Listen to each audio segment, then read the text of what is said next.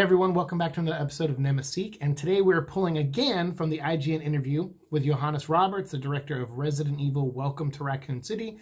And, uh, and he, you know, I was kind of listening to it again and pulling some things that he was saying. First, we talked about some fixed camera angles. Then we talked about tone and stuff like that in the last episode.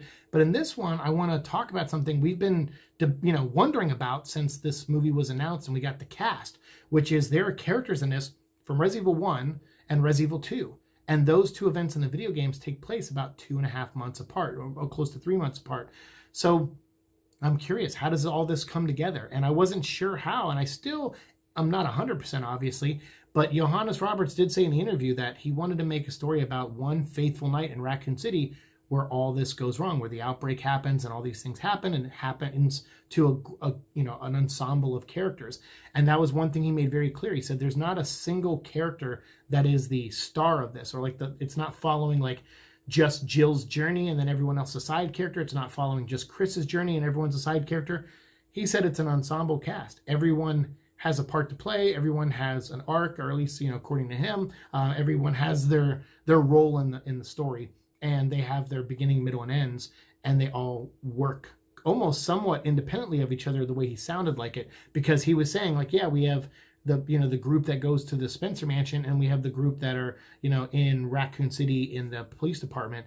And it started getting my wheels turning because we talked about that and we theorized that a while ago which was at first I thought it was just going to be like a Tarantino style where you have you know, Claire and Leon showing up in town, and you have Chris and uh, his STARS team flying in their helicopter off to the Spencer mansion, and it's cut to where you think it's all happening in one night. But then as the story progresses, you start seeing little clues that maybe time has, has passed since one event to the other, and then in the end, you reveal that uh, that you know Claire and Leon get to a lab and they find out that Chris has been gone for three months, and uh, and then you're like, wait, you know, like I mean, of course Claire would know that through the whole story, so you got to kind of hide that and cheat that a little bit. But that's what I was thinking in my my mind. I was overcomplicating it, uh, but it sounds like Johannes is just kind of simplifying it and making everything happen in one night. So you have the people that are just getting to Raccoon City. He said you have people that have been living there their entire lives. You have people that are on a mission to, you know, go investigate something. And you have people that are at the police department who are, you know, trying to survive.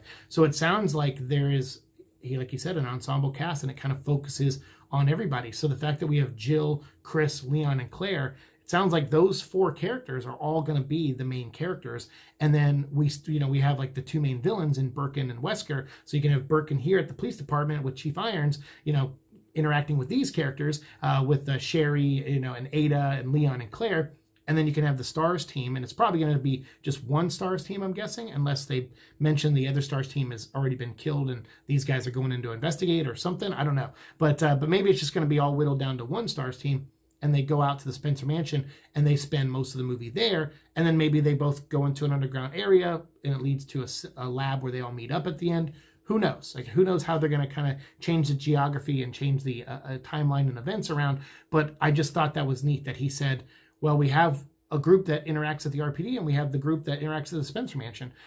That's pretty awesome. That means that we're going to get these people on separate missions and they're not going to have too much maybe overlap um, other than the fact that they're all trying to survive the same night uh, just in different parts of the city. So i'm curious. I'm i'm i'm really curious now how this is all going to work out because to me this has the potential to just go horribly horribly wrong i mean there's so many elements and so many things that they're juggling here and it could just fall apart. But it could also be done, if it's done well, it could be really, really well done. Like it could really surprise a lot of us. Like even me, I have like ups and downs on my expectations, so I'm trying to temper them. But I feel like I could probably go into this excited and still come out even more excited and that's awesome like uh, to give me that much faith in a resident evil movie again is is i owe johannes roberts and this you know, incredible cast and crew i owe them a lot for that because i was I was ready to give up on Resident Evil. I heard about the the Wesker Children TV show, and I'm just like, oh my god, like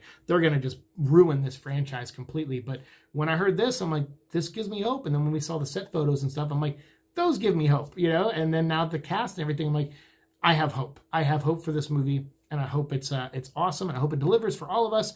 Uh, so let me know what you think of this information. Are you excited that maybe we'll get the RPD crew over here and doing their thing for like an hour of the movie or, you know, whatever. Like maybe they'll do like a 15, 20 minute intro, set everything up, get all the characters into place. And then you have your stars team go off this way to Spencer, and you have the other characters in the RPD, and you're just cutting back and forth between them. And then they all kind of come together at the end, or maybe they stay divided at the end and set that up for a sequel. Who knows? Uh, but either way, this gives me hope. I, I love that it's an ensemble cast and it's going to focus on hopefully everybody a, a pretty good amount, uh, close to equally as possible. And I'm totally down for that. So, uh, so you guys let me know what you think in the comments below of this news, and we'll continue our conversation down there. And if you want to see the full interview with uh, Johannes, uh, go ahead and click the link in the description box. I'll put it there. And I have one more video I'm going to make after this, and then I'm going to bed. So happy 25th anniversary, Res Evil. I'll get these videos up as soon as I can, but I'm recording them all after I get off work on March 22nd, uh, which is the official 25th anniversary. So hopefully I have some content uh, to you guys for the next few days with these videos. So thanks so much. See you in the future. Peace.